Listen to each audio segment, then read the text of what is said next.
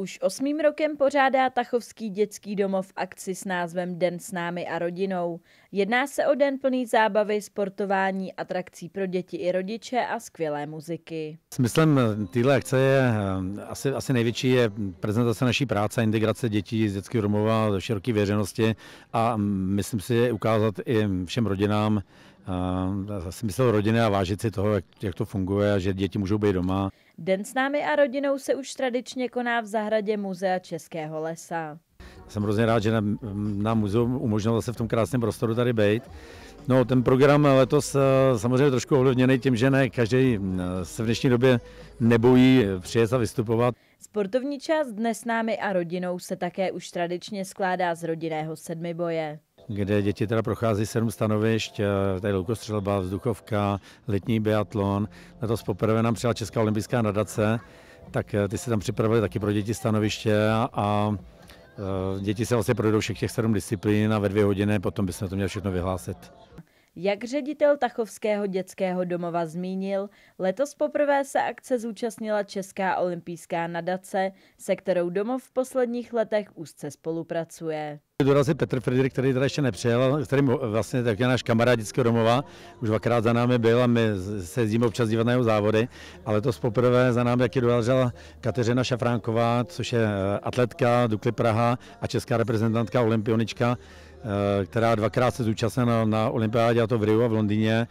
Kateřina Šafránková je českou reprezentantkou v atletice, konkrétně v hodu kladivem. No, my podle mě jako nadace určitě podporuje všechny, všechny lidi, kteří se hrozně rádi zapojí do těchto těch akcí a je to, je to super, když to takhle funguje.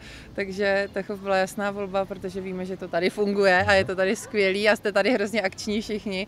A já jsem ráda, že zase ještě mě olympijská nadace dala vědět a že se toho můžu účastnit konkrétně já, protože já jsem tady na tyhle ty věci úplně do těch, do těchto věcí nadšená. Co se týká kulturního programu akce, vystoupily v průběhu dne celkem čtyři hudební uskupení.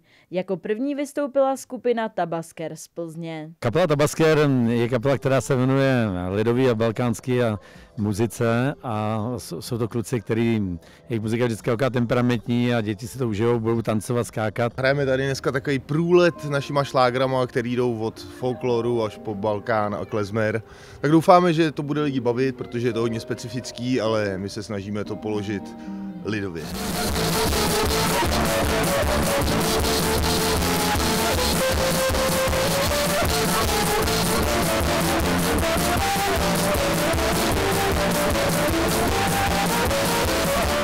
Následovalo vystoupení Václava Krušiny, účastníka letošní soutěže Superstar. Pak přijde už vlastně Tachovská kapla Piková dáma, to je taky taková klasika, no a na závěr eh, poprvé letos vystoupíme s Tachovským kolovrátkem. Bohatý byl i doprovodný program. Ten doprovodný program nám zabezpečuje firma Verstat, která tradičně připravila uh, skákací hrady, bublinkovou show, mají tady nějaké kulisy, masky.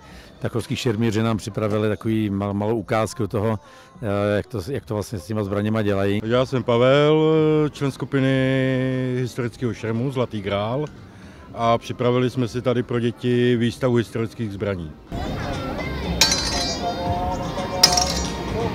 Tady můžeme vidět eh, meče, sekery a další jiné zbraně. No a, a ve všem mají prsty hlavně firma Utoneum, která nám eh, tak jako každý rok přispěla na, na všechny ty atrakce tady, takže za to moc krát děkujeme.